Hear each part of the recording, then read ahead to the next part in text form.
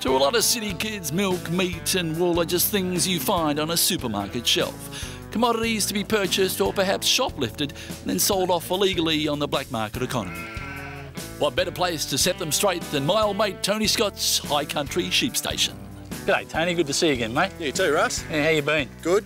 Yeah, got a, a few head of sheep that need doing? Yeah, got to shear a few, yeah. Yeah, okay. Uh, want a hand? I'd love a hand. Yeah, okay, let's go.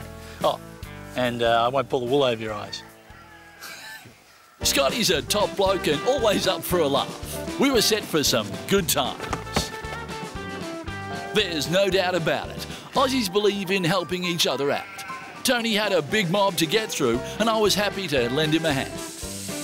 Of course, you put two red-blooded Aussie blokes side by side in a shearing shed, and it doesn't take long before a bit of friendly competition gets underway.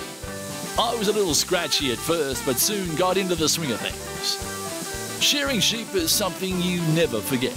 The whir of the clippers, the smell of the boards, the back-breaking pride in a job well done. I'll tell you what, it's a sheer delight. And it wasn't long before we both had our first sheep shorn. It was a pretty tight finish, but let's just call it a dead heat. Adventures, pack up your swag, let's go. All Aussie adventures, time to